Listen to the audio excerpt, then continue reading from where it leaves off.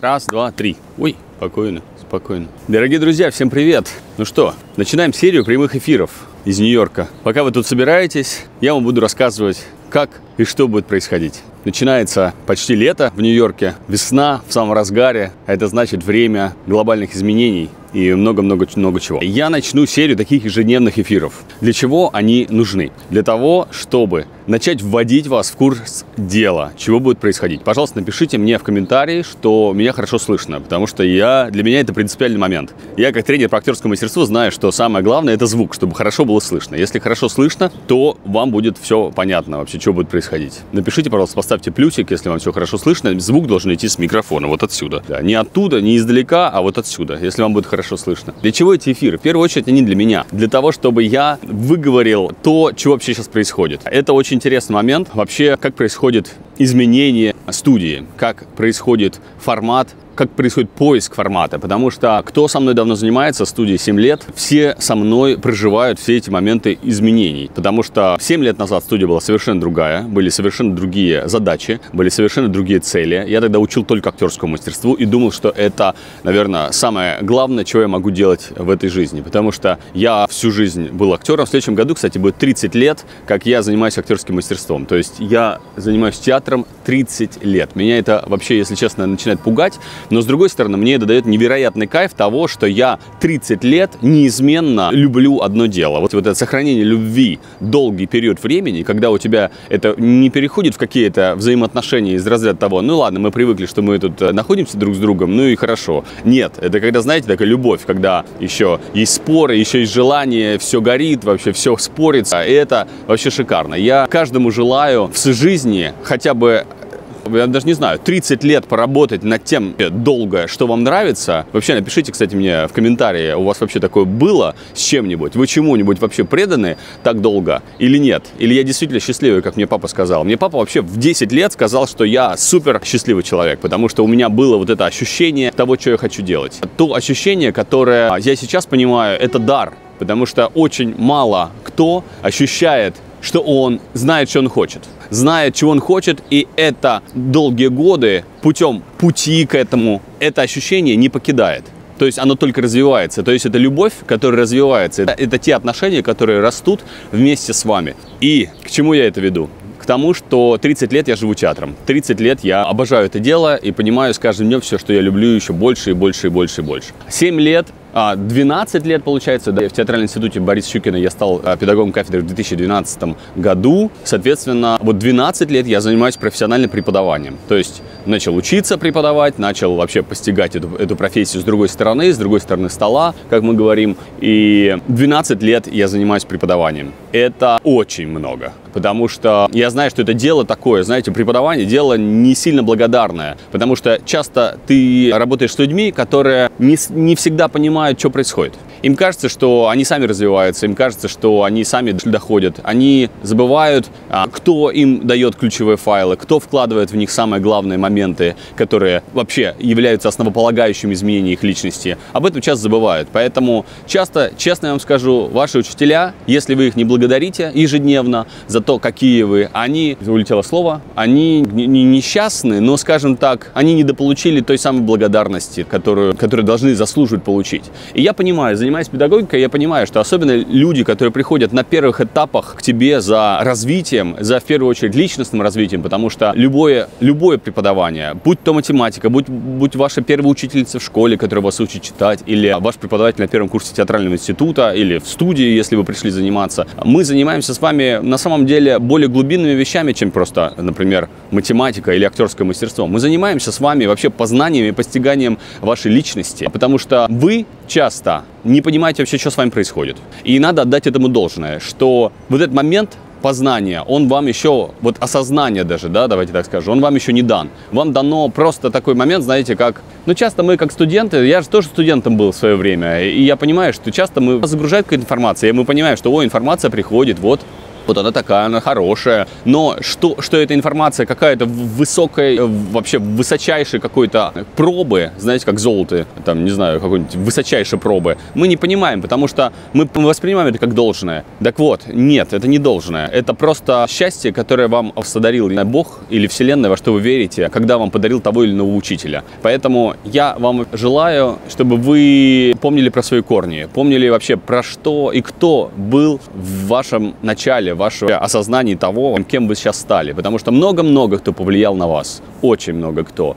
И в большинстве случаев это не вы. Как нам кажется, иногда наше эго, оно так строится, что оно нас вообще всегда благодарит в победах, а поблагодарит только нас самих. Мозг всегда говорит, о, ты такой молодец, ты такой классный, ты всего добился, а ты все сам. На самом деле это неправда. Все не так. А вы добились вообще чего-то только благодаря тому, кто вас окружал. Именно поэтому вот такая очень важная штука, вообще ваше окружение. И если вы самый счастливый человек в мире, и вам сразу же повезло с окружением, просто благодарите то, что вам эти люди попадались на своем пути, потому что это супер важно. И а, благодарите. Вот этот момент благодарности, он крайне важен для всех нас. И помните свои корни. Корни в контексте того, откуда вы приехали, кто ваши родители, кто ваши бабушки, дедушки, это ваши корни. Но также помните всех людей, которые повлияли на вас. И положительно, и негативно, потому что они строят вашу личность. И этот момент, он крайне важен. Я его осознаю с каждым днем. Он супер, супер критически важен. Наверное, может показаться так, что вначале, что все это не важно. Но на самом деле очень важно. Попробуйте услышать эти мои слова, они нужны. Так вот,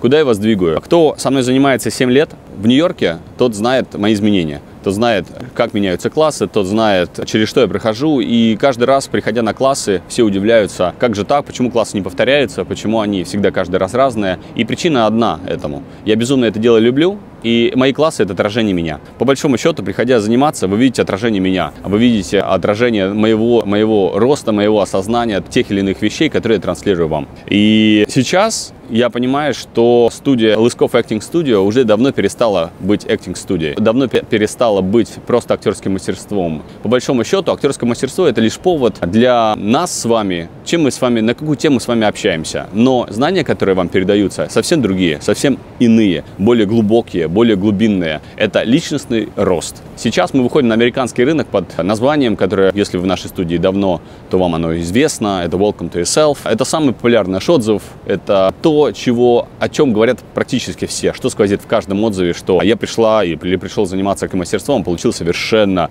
какой-то новый, совершенно новый взгляд на мир. А я вернулся к себе, я вернулась к себе, и я начал, я начала познавать вообще, кто я есть такой или такая. И вот это, знаете, я долго долго этому как-то не придавал значения, думал, ну, хороший побочный, хороший побочный эффект вообще, который на самом деле нужен для всех нас, но потом я понял, что, наверное, это и есть самое главное, потому что у меня нет цели научить вас быть актерами, а актерами вы будете? И так, если вы захотите это делать, а вот научить вас быть людьми, проживать свою жизнь счастливо. Вот это моя цель. Вот это, на самом деле, я вижу глобально миссию в этом, чтобы вы были счастливы, чтобы вы проживали свою жизнь стопроцентно здесь и сейчас, чтобы вы понимали, что каждую минуту времени вы не жалеете ни о чем, что вы если бы у вас была возможность повернуть эту жизнь вспять, вы бы сказали, я хочу прожить ее ровно так же. Ух, это очень глубинные мысли, может быть, они вам сейчас еще сразу не залетят, но я вам хочу сказать такую штуку. Вы знаете, я так проживаю всю свою жизнь. Видимо, из-за того, что я был одарен тем, что мне это было дано, и как я вам раньше до этого сказал в видео, что я этого просто не осознавал, я думал, что я сам такой.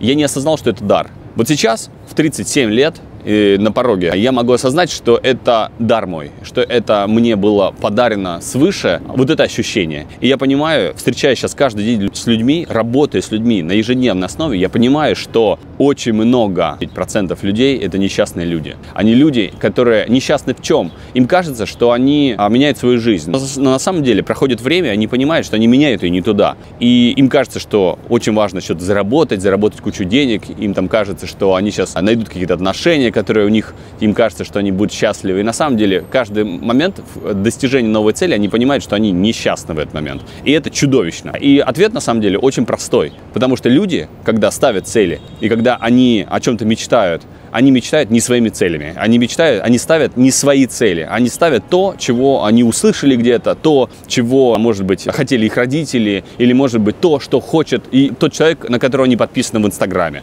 Но они не мечтают о себе, о своей жизни. Они не мечтают, они не способны в большинстве своем подумать о том, что вообще им нужно, что они хотят. И это вообще беда. Чем я занимаюсь на своих актерских классах? Актерских классах вашим личностным ростом. На первом классе, когда вы придете, я спрошу вас, чего вы хотите, чего вы хотите, чего вы хотите, в какую сторону двигаться, в какую, чего вы хотите, какой вам вкус нравится, что вы сегодня пили на утром, какой напиток вы сегодня пили, что вы ели, с удовольствием вы ели или нет. И вы знаете, зачастую с ужасом я осознаю, что человек либо не помнит не ответ на этот вопрос, либо понимает, что он это делал по какой-то не своей воле, и он часто не может ответить на вопрос, что он любит, что ему нравится, что ему не нравится, что его раздражает, что он любит, что его вдохновляет. Эти ответы на, казалось бы, банальные вопросы о вас заставляют вас, просто ставят вас в просто бешеный тупик. И это просто ваша беда. И я понимаю сейчас, что я нахожусь на каком-то невероятном транзише, в невероятном моменте перехода на новый этап,